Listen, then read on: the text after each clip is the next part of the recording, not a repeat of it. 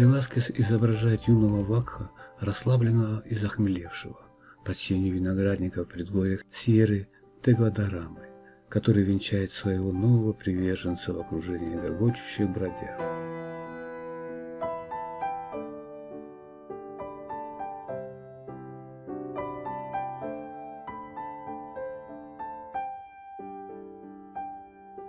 Античный бог вина получает здесь свою сатирическую трактовку, характерную для испанцев в целом и для Веласкеса в особенности.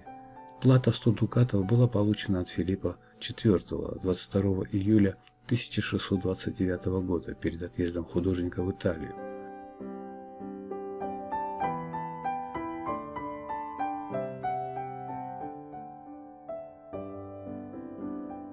Обвиненный в том, что умеет писать только головы, Веласкес решает попробовать свои силы в сложной композиции.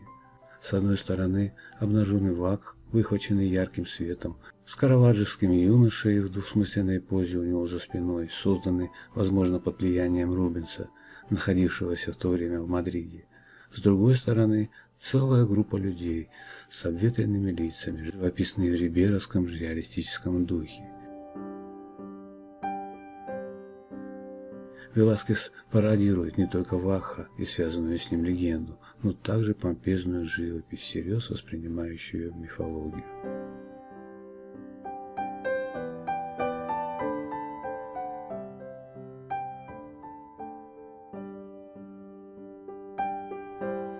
Эту картину Веласкеса часто цитируют.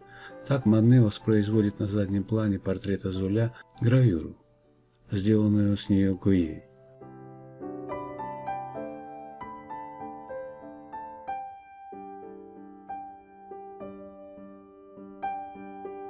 Выделение отдельных предметов, как, например, эта блестящая зеленая бутыль, подтверждает славу великого северянца как художника кухонь и натюрмортов.